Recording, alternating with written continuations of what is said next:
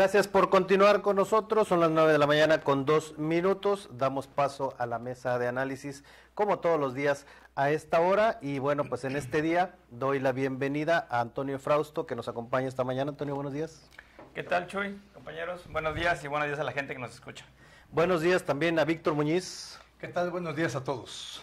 Saludo también, con mucho gusto, a Oscar Pineda. Oscar, gracias por estar con nosotros. Buenos días, Chuy. Buenos días al auditorio. Buenos días, compañeros.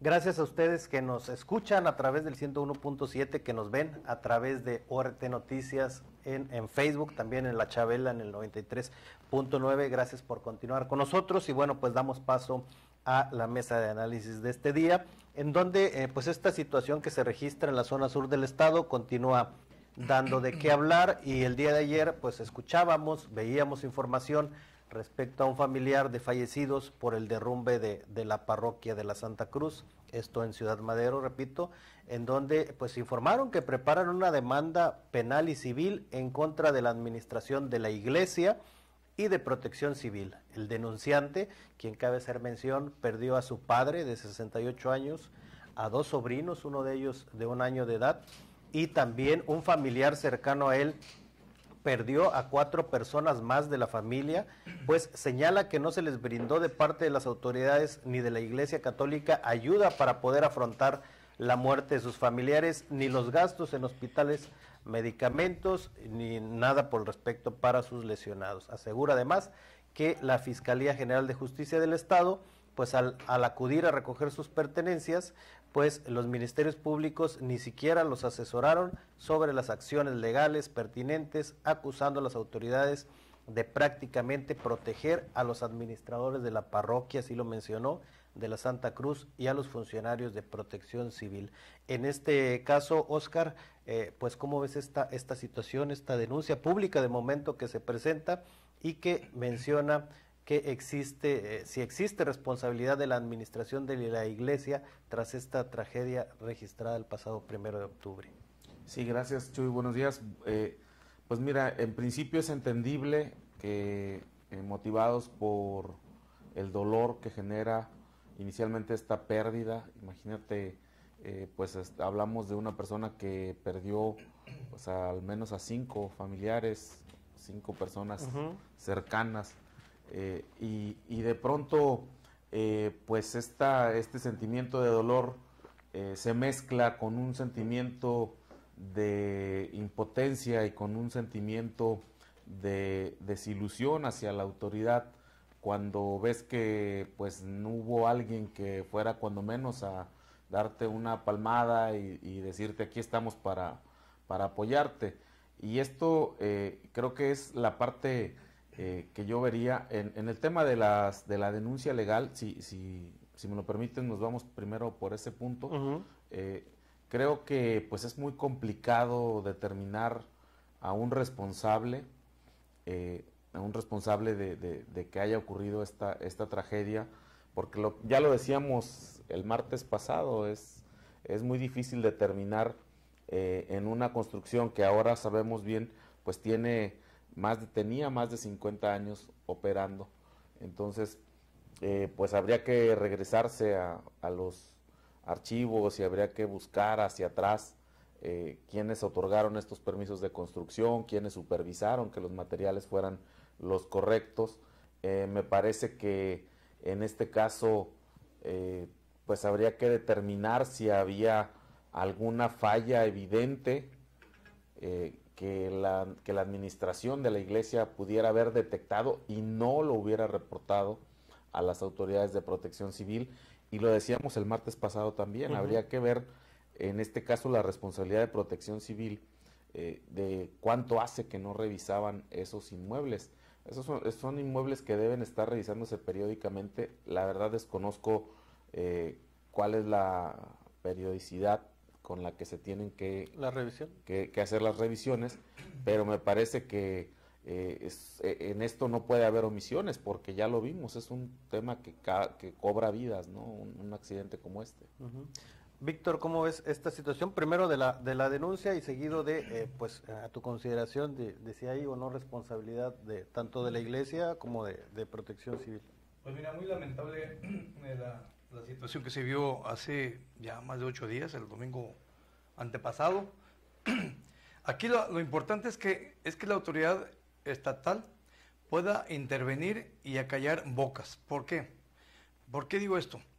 Porque es obvio, es muy, eh, este, es obvio la- el- el- que la gente está dolida, que la gente está irritada porque no hay ninguna, no hubo ninguna autoridad que los orientara. Mientras que la fiscalía estaba investigando, mientras que Protección Civil esta- estatal estaba checando, verificando después de los hechos, pues la gente estaba a la deriva, los deudos estaban a la deriva. ¿Con quién voy? ¿Con quién acudo? ¿Qué hago?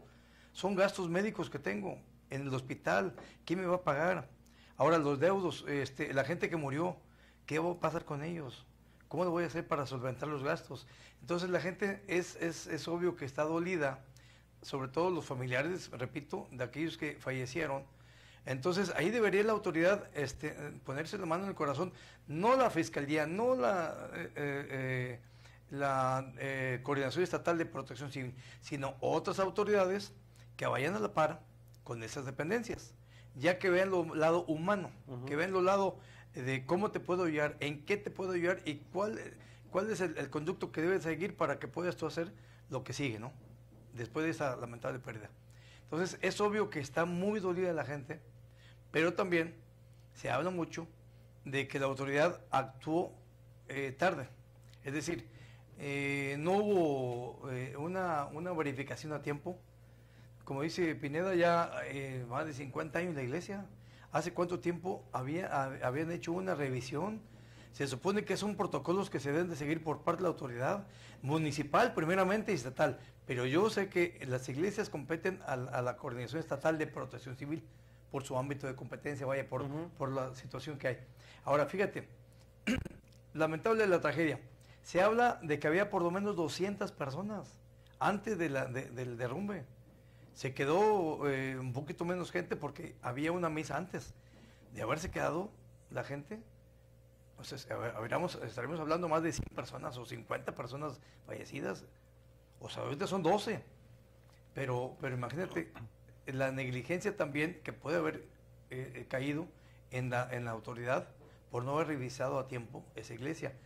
Que puede haber una demanda, sí, sí le puede haber una demanda civil, por lo menos.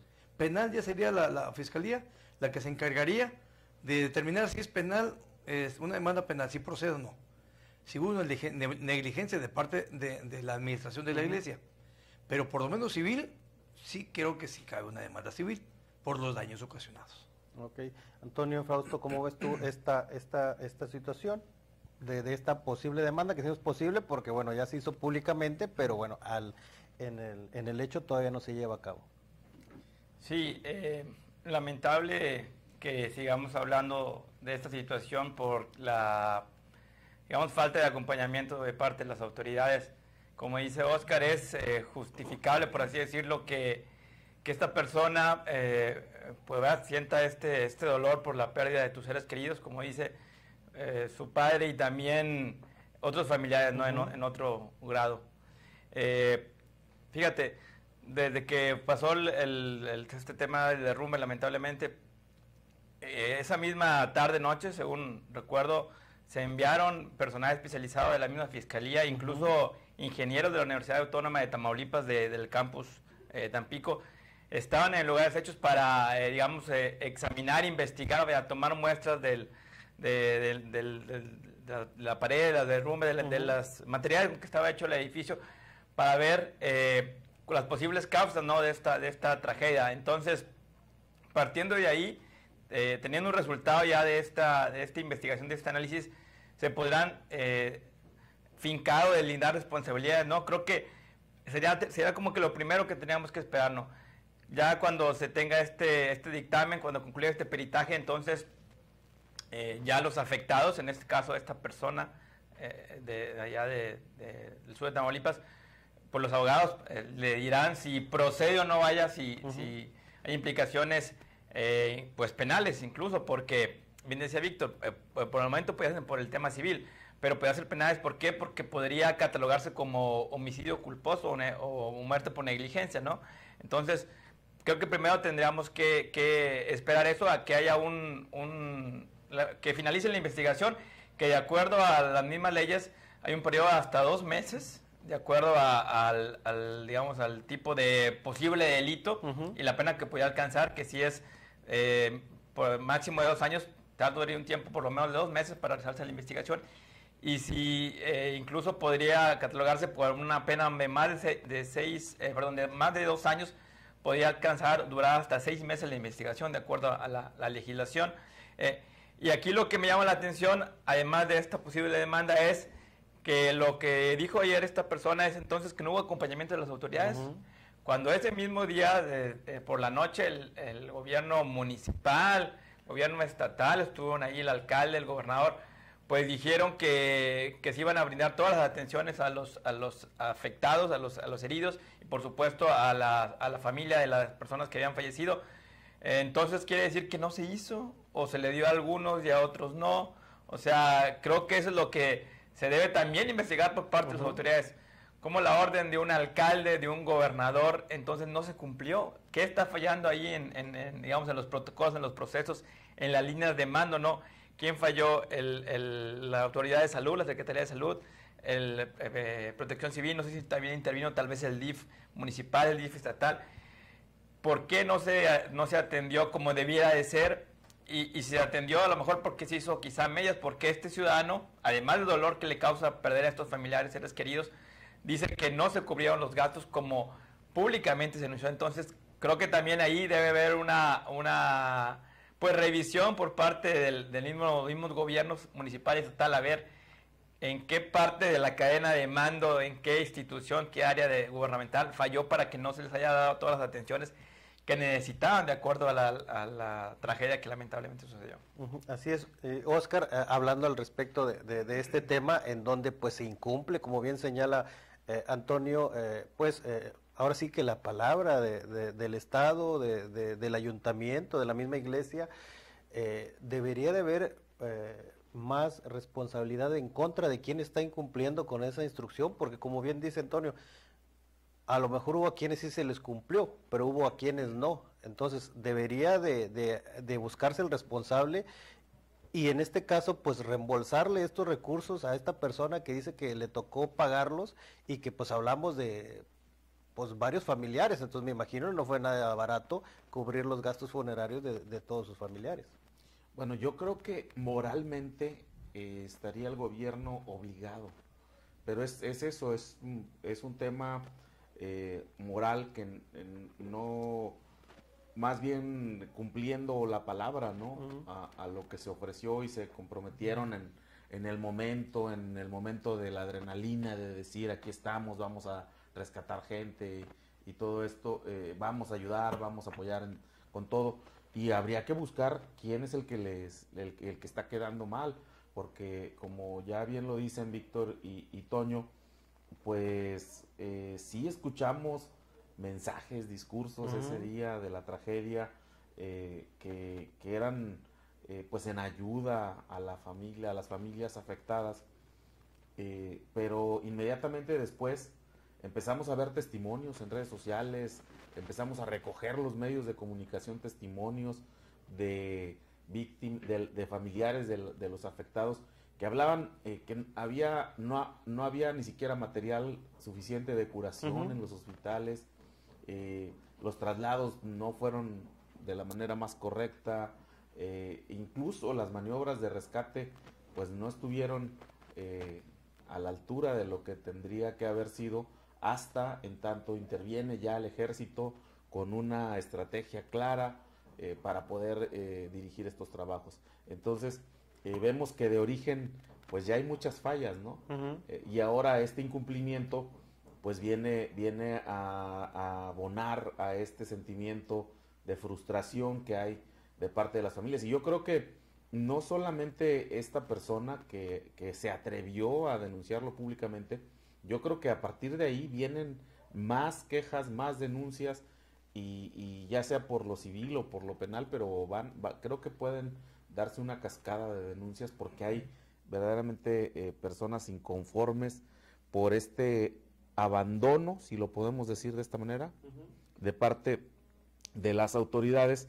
Y habría que decir, eh, habría que decir eh, que en este sentido, pues alguien no le está cumpliendo al gobernador y al presidente municipal de, Madero, eh, Adriano Ceguera, que eh, se comprometieron ahí públicamente a ayudar a las familias afectadas. ¿Cómo ves tú esta situación, Víctor, de, pues, de la autoridad? Eh, como hemos mencionado, pues respetar esta, esta postura que se fijó en un principio y que al parecer pues no a todos este, les fue de la misma manera.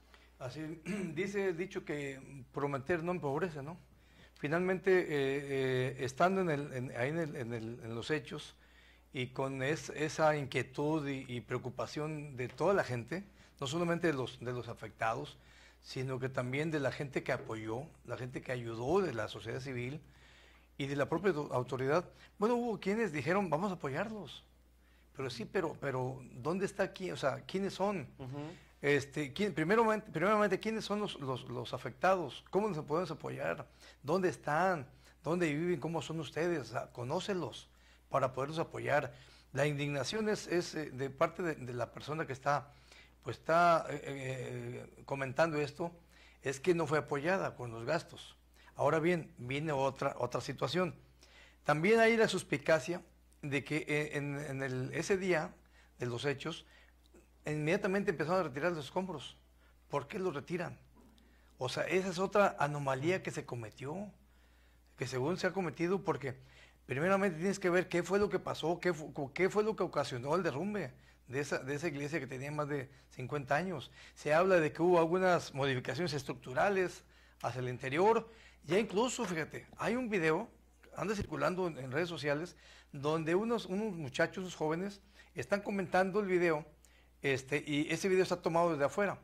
Y, ellos comentan de que se ve un tipo de luz y estallido, de adentro hacia afuera. Entonces hay muchas suspicacias. ¿Por qué también otra anomalía que presuntamente se cometió por parte de la autoridad estatal de protección civil estatal y de la Fiscalía de Tamaulipas es haber retirado el escombro? Primero investiga. Ahora bien, dijeras, es que es la, es la, es la, es la prioridad. Hay que sacar a los heridos o, posibles eh, fallecidos. Sí, pero tienes que tener una lista. A ver, familiares, ¿hay gente adentro? No, no hay. Entonces déjelo así. No hay quien, quien reclame a algún familiar herido. Bueno, sí, déjelo los escombros. Vamos a investigar, pero ¿por qué movieron los escombros? Esa es otra inquietud de parte de la gente afectada. Ok, Antonio, esta situación de, del cubrir los gastos que, que se había hecho y que ya hemos mencionado, se había hablado también de una funeraria que estaba abusando de los precios. También en días pasados hubo una denuncia en donde la COEPRI decía que pues iba a buscar a sancionar a esa funeraria y que regresara, reintegrara los, los recursos al familiar de la persona fallecida. En este caso, con, con, las autoridades, tanto estatal como municipal, debería ser la misma acción, buscar resarcir este, este, este daño que se está manifestando. Eh, sí, porque se, se prometió ese mismo día, como ya decimos, el, mandatario estatal, el alcalde de Madero, pues ahora sí que dieron su palabra de que se iban a apoyar a los eh, familiares de los deudos y a las personas que estaban lesionadas en estos hechos, ¿no? Entonces, eh, creo que el, compromiso de ambas autoridades, obviamente, ahí está, y, no creo que, que ninguno de, de ambos gobernantes no quiere ayudar a la gente. Creo que aquí, vuelvo a repetir, algo falló en la, eh, en la estructura gubernamental de, ambos eh, niveles y se tiene que investigar porque, porque no solo se quede mal el, gobernante, ¿no? En, turno, el alcalde o el, o el, gobernador, sino que eh, la, visión o el lado humano, que fíjate cómo, cómo no se está respaldando, cómo no se está atendiendo a esta gente que, vivió estos hechos tan, tan lamentables. Entonces, bueno, tiene que, tiene que investigarse de manera interna, creo yo, y, tiene, creo que deberían sancionar quienes fallaron ahí. Y, en el caso entonces de que se compruebe que, no se, se, les dio la atención como debían, bueno, brindar lo, que requieren. Si son eh, gastos, eh, recursos eh, económicos, pues a veces apoyarlo de alguna manera. incluso de aquí para adelante, no sé, la manera en que puedan, eh, quizá quien ocupe rehabilitación, quien ocupe eh, otros tipos de apoyos, terapias, terapia, incluso asesorías, exactamente asesorías por parte de ambos, de ambos gobiernos, no municipal y estatal. Entonces creo que ahí es una tarea pendiente que me imagino que ambos, el gobernador y el alcalde, deberán este, atenderla de inmediato. Ok, bueno, pues estamos hablando sobre una posible demanda en contra de la administración de la iglesia allá en Ciudad Madero tras estos lamentables hechos y contra protección civil. Yo los invito a que nos acompañe a la siguiente pausa comercial y enseguida regresamos.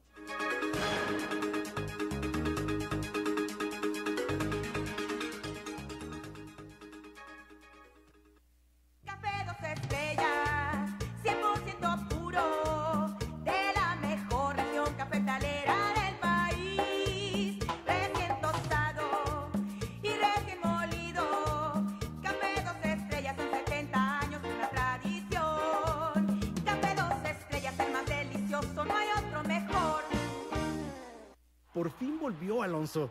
¿Qué cosa? Esta vez sí que gano. ¿Pero qué volvió, Víctor? Reto Móvil Plus. Reto Móvil Plus está de vuelta. ¿Estás listo para ganar? Carga combustible, acumula check-ins con cada visita y cámbialos por combustible de regalo. Válido hasta agotar existencias. Consulta términos y condiciones en retomóvil.com. En HB siempre ahorra. Compra un cereal de 310 gramos o más y llévate gratis cuatro pastas para sopa Hill Country Fair. O bien aprovecha azúcar estándar de un kilo, marca Hill Country Fair a 25.90. Vigencia al 12 de octubre. Consulta restricciones. En tienda y en línea. HB. Lo mejor para ti. Ma, me inscribí al IMSS desde acá. Y ahora usted ya tiene el seguro allá en México. Hasta mis chamacos. ¡Qué bueno! Tu hermana también hizo su trámite como diseñadora independiente desde su compu. Si eres independiente o trabajas en el extranjero, afíliate al IMSS y tú y tu familia tendrán beneficios de salud, jubilación, seguro de vida, incapacidad e invalidez, guarderías y más. Hazlo en línea. Con el IMSS tú y tu familia están más seguros. 80 años IMSS. Gobierno de México. Ya llegó la colchoniza a la Villarreal. Contamos con hasta 45% de descuento en todos nuestros colchones. Transforma tus espacios con nosotros y haz de tu hogar un mejor lugar. Aprovecha los grandes descuentos que tenemos para ti. ¿En dónde más? En Mueblería Villarreal.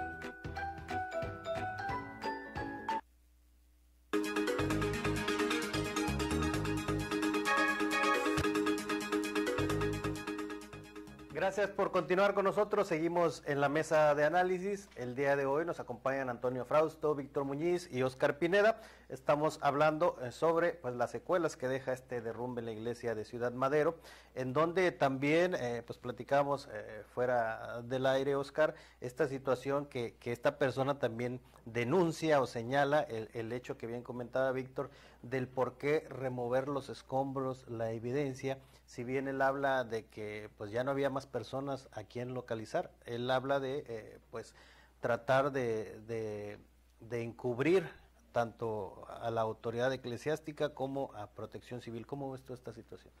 Pues es que se presta al sospechosismo, ¿no?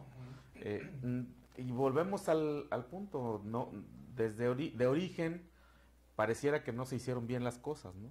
Entonces, si, si es eh, escuchaba en la mañana un comentario que, hacían aquí, aquí precisamente en el noticiero y decían, bueno, pues es que no es lo mismo una evidencia de, un, de una escena de un crimen que de un accidente. Sin embargo, eh, sí es importante para efectos de peritajes contar con, lo, con, con las estructuras, ¿no? ¿A dónde se llevaron ese material? No se lo llevaron a un laboratorio a investigar seguramente lo llevaron por ahí a, tapar algún bache, algún en algún bache o en alguna laguna, porque eso es lo que pasa, ¿no? Con, con el escombro, al final de cuentas van y lo tiran en otra parte.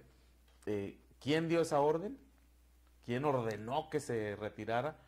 Bueno, creo que ahí sí se, se tiene que buscar, porque eso es lo que nos hubiera dado un poco o nos debería dar un poco de luz para entender qué fue lo que pasó estructuralmente en, en la iglesia, Jesús. Hay, cuestión de, la gente del Ministerio Público. Primeramente investigar, a ver, ¿qué autoridad ordenó retirar el escombro? ¿Sí? ¿Por qué lo hicieron? ¿Bajo qué circunstancias? ¿Qué los motivó a hacer eso? Y, obviamente la autoridad que lo retiró tuvo que, tiene que justificar. Entonces, por eso mi comentario. Si, si, si en ese momento eh, la situación era tensa, era difícil, obviamente era para decir, a ver, ¿cuánta familia va aquí? No, pues había 50 familias o 40, las que, las que existieran. Vamos a hacer una lista. ¿Creen que haya gente ahí adentro? Pues no, entonces así déjalo. ¿Para qué lo mueves? Exacto. Acordonas, nadie, nadie entra, nadie va a entrar. Y el escombro, como tú bien lo mencionas, vamos a analizarlo en un laboratorio especial porque eh, hay suspicacias. Hay, hay, hay, este, eh, hay gente que dice que podría haber sido provocado.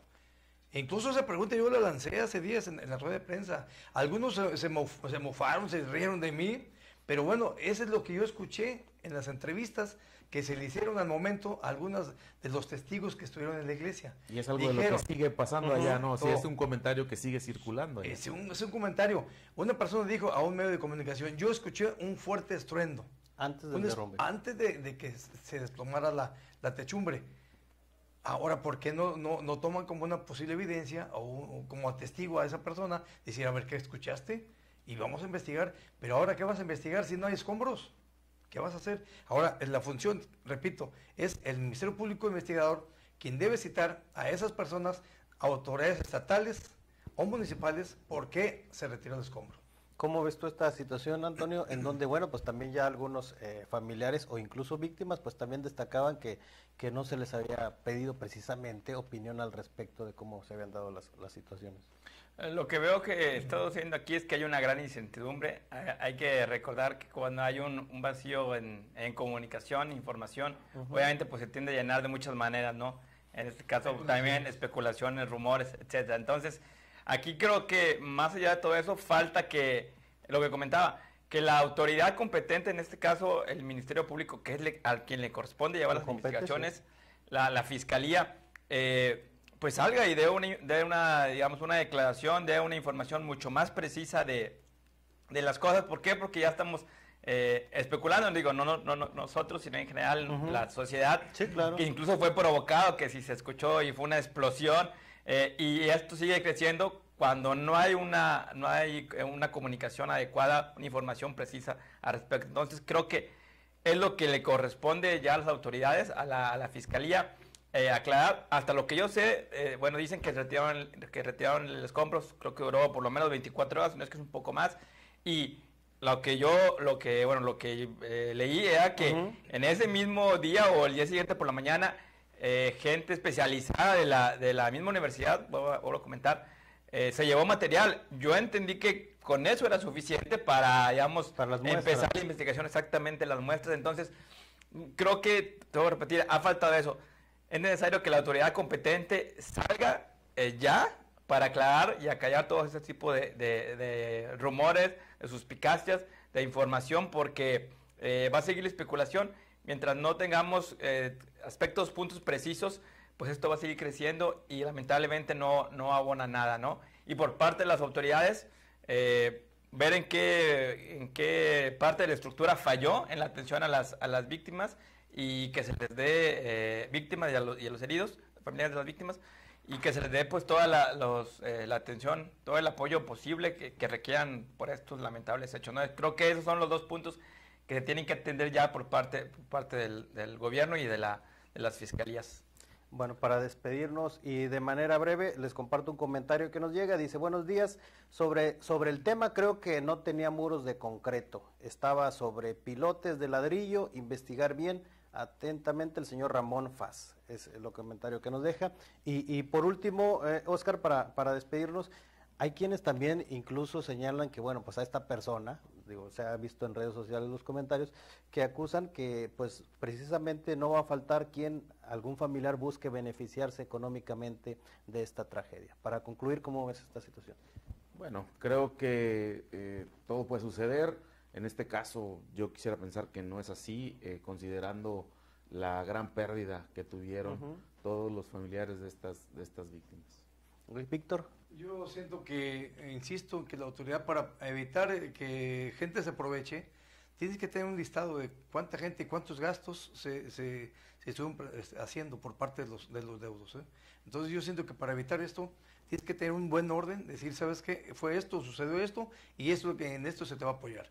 Pero para que no se, no se cuele más gente, es decir, es, es una, una, una listita, un, un, un papelito, orden. Un orden. Si no es así, pues todo el mundo va a querer sacar provecho.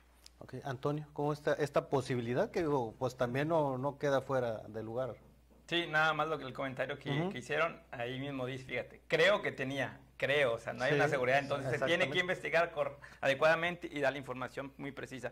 Y sería lamentable que eh, fuera este caso o cualquier otro caso si se presenta que eh, así que aprovechándose o quiera sacar provecho de, de- la tragedia, ¿no? de la muerte de personas, eh, de familiares, eh, yo espero que no sea así y, que estas, eh, esta denuncia que está haciendo esta persona pues sea obviamente totalmente verdadera, sincera, ¿no?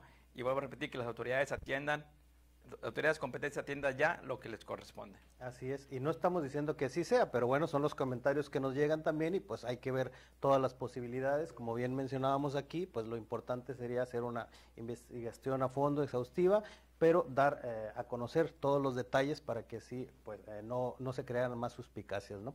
Yo agradezco a Antonio Frausto, a Víctor Muñiz y a Oscar Pineda que nos hayan acompañado esta mañana y bueno, a usted también, como todos los días, le agradecemos el favor de su atención a nombre de todo el equipo de ORT Noticias, de nuestro director general, el ingeniero Enrique Cárdenas del Avellano, le agradecemos que nos haya acompañado y lo invitamos a que esté presentes con nosotros también el día de mañana. Que tenga un excelente día.